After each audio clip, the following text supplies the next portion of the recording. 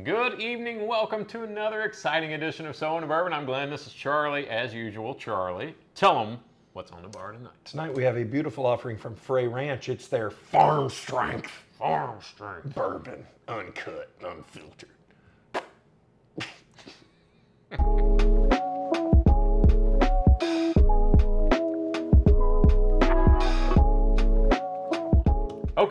Frey Ranch Farm Strength Bourbon. Farm strength. Farm Strength is just their way of saying Cask strength. cask strength, right? So Bottled without water. What God intended. You can't put farm strength on there and not expect me. That, Like farm strength. Like give Charlie an excuse to act a fool, and he's going to do it. cask strength. Farm strength. Uncut, unfiltered, farm strength, cask strength. It all says Blah, that blah, blah, on the blah, bottle. It all says that. So let's get to it. Let's get Let's to it. get to it. Frey Ranch, Las Vegas, Nevada. Um, this is one, once again, I haven't had. We haven't done an episode on. I was out in Las Vegas last summer and hoped to go visit the distillery, but they weren't open the days I was there. I think they were only open on the weekend, if I remember correctly. But Distilleries will do that. They will be open on the most inopportune times. exactly. Like we're So- open seven days a week, except Tuesday through Sunday. Exactly. And, you know, it is what it is. But regardless, we have it here before us tonight.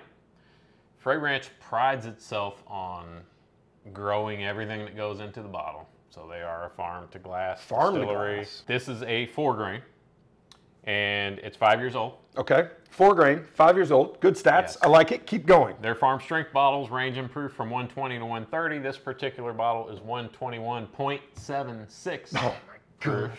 Don't forget the. Don't forget Seven, the seven six. Okay, And the mash bill. Let's talk about the mash bill. okay. Talk about it. Why don't you run through the mash bill? It is 66.6 non-GMO corn. I don't know why they did 666. Devil whiskey. Put that down. 12% barley, 11.4% winter rye, and 10% soft white winter wheat. So, not for sure what the difference between winter rye and regular rye is. Usually you see soft red winter wheat. Yep, And so I don't know, maybe that's the difference. Maybe it grows better out there than in the desert. the But yeah, that's what we got. So, and MSRP on this bottle, 79 bucks. 79 bucks, yeah. Uh, we'll talk briefly about the bottle. It is ginormous. It weighs 600 pounds. Um, I mean, I don't know if you can see the glass base on that. Like, it is a monster. I like bottles like this because at 79 bucks, when I'm done with it, I'll peel the label off and it makes a great decanter for an Yep. infinity bottle. We got to talk about the cork. Um, it is a bolt with the Frey Ranch logo on it, and it is very heavy. Very heavy. So if you open it and you've got a buddy that says something derogatory, you can throw it at him. Hit him right in the hit him right in the face with it. Um, let's let's get into this All thing. right. And once again, thanks to our uh, friend Andy, who is sitting here in the live studio audience, who brought this bottle for us. So it's kind of light in color, um, kind of It is. It is light. It- color it's pretty for light. A, for a 120. yeah, no water in the mash bill. 121, almost 122 proof. That's interesting. Five years old, pretty light. So I have a theory on that. Is it that it was aged in the desert? Yes. It's possible. So it's not going in and out of the Yeah, wood like it's it would just if it sitting in heat. Yeah. Now, you bring up an interesting thing. Do we typically like things that have been aged west of the Mississippi for an extended period of time? We typically have not, uh, Not- except for, um, oh, what's the uh, Ben Holladay? Northern California? Um, Oh, uh, uh, that doesn't count. It gets cold up there. I know. Well, it gets cold in the desert at night. You talking about the tree whiskey? Yes, I can't think of what it's called. Andy, just say it. Redwood and Redwood, Redwood Empire. My All right, let's nose this thing. All right, let's do it. God, that's interesting. It's a, yeah, it's got a nice nose. There's there's a Fruit flower? Fruit and flower? F- Fruit there's flower. definitely there's a floral note Floral and a fl- fruity note, Flower fruit. but it's not like a perfumey uh, no, e- floral. no ethanol. I get very little ethanol. Yeah, that, it's a little tricky because it almost it starts out almost with that young Uh huh. note to it, But it's then it- not. it- no, It- yeah, It's uh, interesting nose, and I like interesting things. That is And then- real. There is a there is a note there, a grain note. There's a grain that I note, yeah. cannot quite put my finger on. which is It's not that because you know me, I get that cut grass or cut wheat. yeah. That's not what it is. It's something different. You know what it is? What? It's non-GMO corn. Sixty-six point six percent of it. That's All what right, it is. let's drink it. Cheers. Fragrant farm.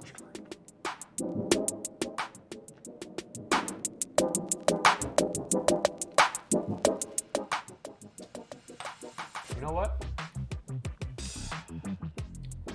That's pretty good. It's pretty straightforward. It's uh, sweet.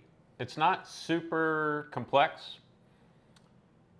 It's uh, there's a lot of sweet corn on it, but not in a bad way.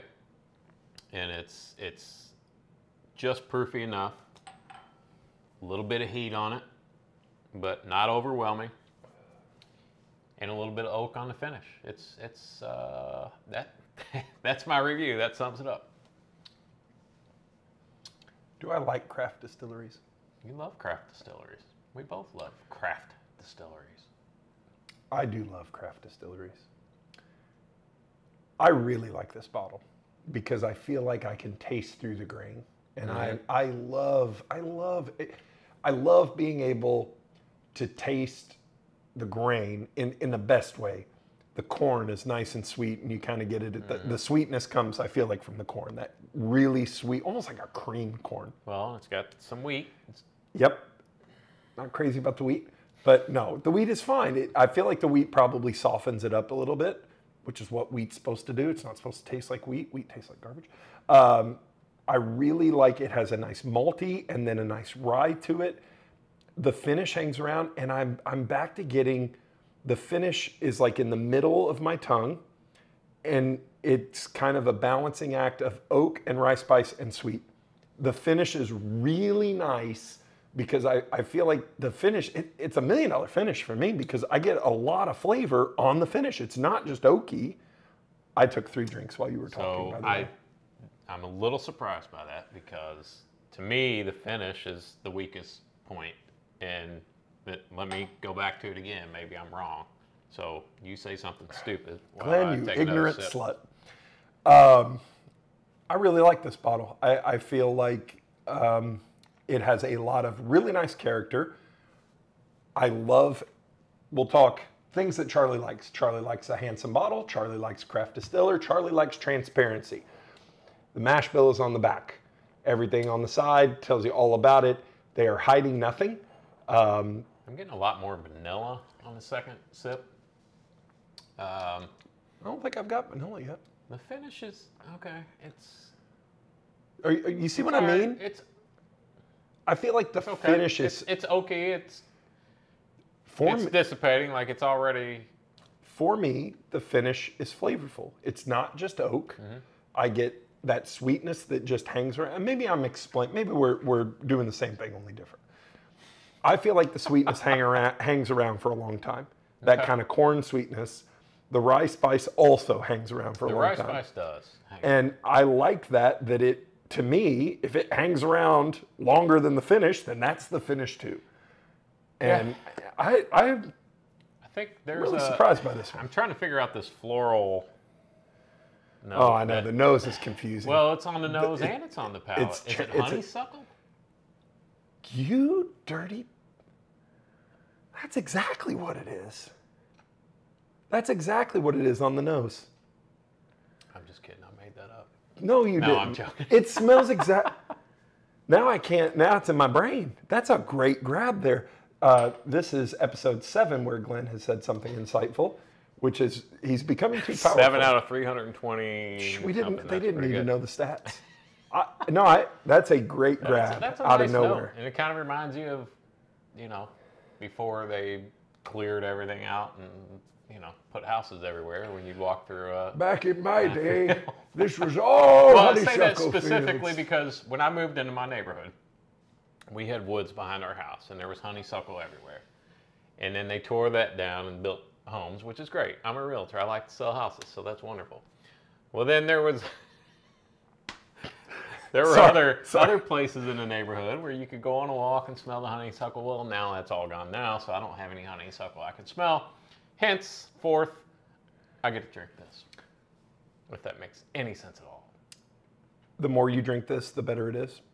I would agree. Which is And I would probably the the case finishes- most think. the I, I, finish is coming on a little a little stronger. I like um, I like unique. This tastes very unique. I can't. Can you, if you had to say, oh, this tastes like, can you come up with anything? Because the only one I can come up with, The floral note isn't uh, one of uh, Four Roses mash bills. Doesn't it have a really floral forward? I like Profile. Four, I like Four Roses, but and I I'm can't not comparing it to. Four Roses. I'm just saying, if I had to pick something, I don't. And all the bourbon geeks out there, they're oh yeah, that's OSVQ or whatever. that- I You don't messed it up. Now we're gonna get hate bills. mail. What it, what this reminds me of is, and you know that I love um, Alan Bishop, the um, whiskey alchemist. Yep. who was uh, previously at French Lick, Spirits of French Lick. I love his stuff. It's a pre-prohibition style. It's it's different in both creation and mash bill, and, and you can it's grain forward in all the best ways. This reminds me of a West Coast version of that. A little sweeter, a, a little I don't know, it's just different, but it reminds me of that because you you taste the grain and you you kind of taste if something is farm to glass, you want it to taste that Right. way. I don't want to open it and be like, oh, it tastes like Buffalo Trace or whatever. Like I want it to taste like Yeah. they grew it. And I wouldn't. And there's I've I've had a lot more grain forward whiskeys than this one, but the it is there, and I, I've come to really love four grains in the past. It's a good four grain. so I like this. it's a good one. 79 bucks. I know it's not cheap, um, but I mean, heck, you get a decanter out of the deal. So Heck yeah.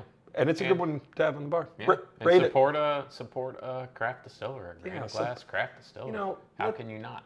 In this economy, craft distillers need our help. So They really stop do. buying a bunch They of. really do. They're struggling yeah, right now. Like so, get out there and buy a bottle from a craft distiller. Make a difference in you know somebody's year. Absolutely. So- Are we rating it? Rate it. Here comes a six. I will give this a six point eight.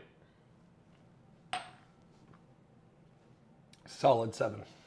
I like this one. I like this one a lot. If it was a little cheaper, I would rank it higher. Seventy-nine dollars is a lot of money. Um, I like this one a lot. Yeah, it. I wish it had a little bit more depth, a little more nuance to it. It doesn't, but that's fine, right? What's there is good. Yep.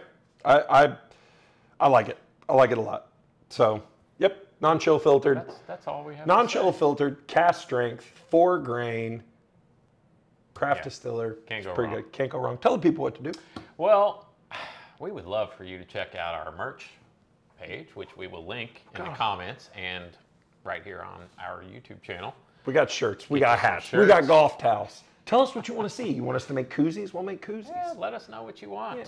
And also check us out on our socials, So Into Bourbon on Facebook, Instagram, Whiskey Realtor on TikTok.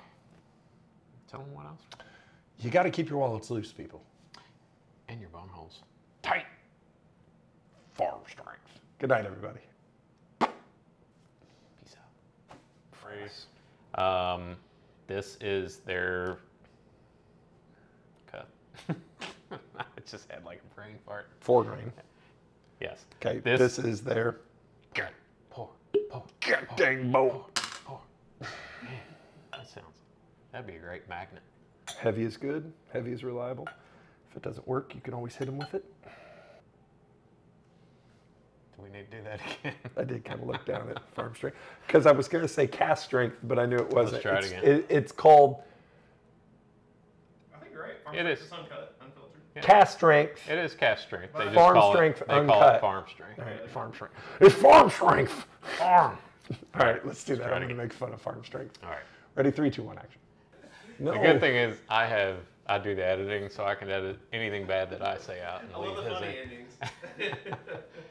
Let's, three, two, one. Man, we're so insane. We're so good at clapping. I wish we were half as good as bourboning as we were at clapping. Hmm. Frey Ranch, take one, action.